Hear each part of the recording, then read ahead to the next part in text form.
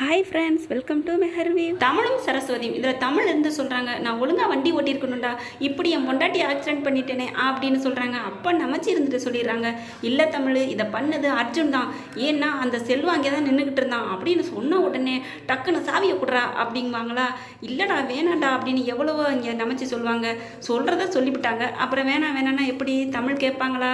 டக்குன்னு வண்டி எடுத்துட்டு கிளம்பி புயல் மாதிரி போகிறாங்க அங்கே போய் பம்பரக்கா பரட்டத்தலையனை என்ன பண்ணுறாரு அர்ஜுனை? ragione பின்னி எடுத்துடுறாங்க. அப்படி வயிற்றுல நங்கு நங்குன்னு குத்தி குறவலை நெருக்கிறாங்க.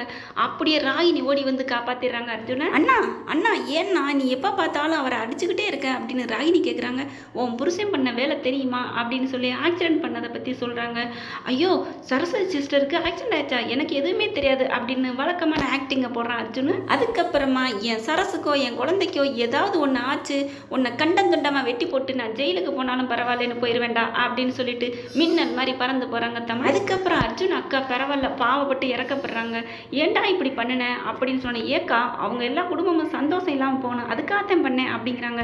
இல்லைடா நானே வயிற்றுல குழந்தை இல்லாமல் இருக்கேன். ராகினி வேற மாசமா இருக்கா? இப்படி அடுத்த குழந்தைய அழியிற மாதிரி நினைக்கலாமா? அப்படின்னு சொல்கிறாங்க அதுக்கப்புறம் அம்மாளும் மகளும் போயிட்டு கடவுள்கிட்ட வேண்டுறாங்க.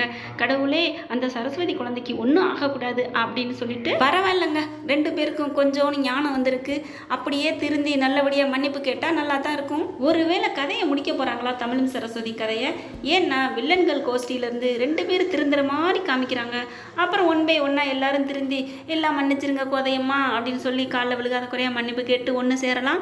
பார்க்கலாம் பொறுத்திருந்து என்ன நடக்குது இந்த பதிவு உங்களுக்கு பிடிச்சிருந்து நாங்கள் பொண்ணா கையால் ஒரு லைக்கை போட்டு சப்ஸ்கிரைப் பண்ணிருங்க